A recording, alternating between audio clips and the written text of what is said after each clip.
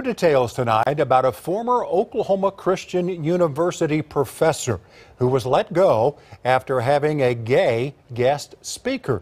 You might remember this story because we first told you about it back in March when Michael O'Keefe was initially fired.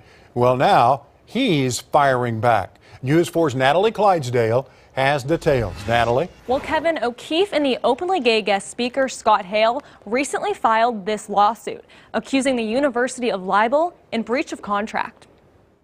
You have a 41 year tenured professor who got fired for bringing in a gay guest speaker. The firing of former professor Michael O'Keefe stunning many across Oklahoma Christian University. Students before and after me who were all just shocked by this. His lawyer, Kevin Jacobs, tells News 4 back in March of 2022, O'Keefe invited Scott Hale, who is openly gay, to talk to his Business of Branding Yourself class about resiliency. He, he told that story about just his own personal journey and really connected with uh, the kids, not not an advocacy of uh, any type of gay rights. Less than a week later, O'Keefe was fired.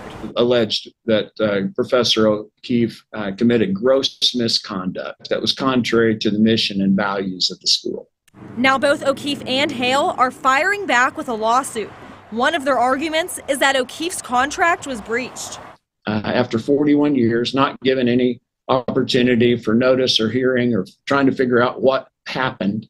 The university did not follow any of their uh, tenure provisions. They're also arguing libel because of an email allegedly sent to OC's faculty and staff by the university's chief legal counsel. Just false, misleading. According to the lawsuit, parts of that email claim Hale used inappropriate and graphic language of a sexual nature during his presentation.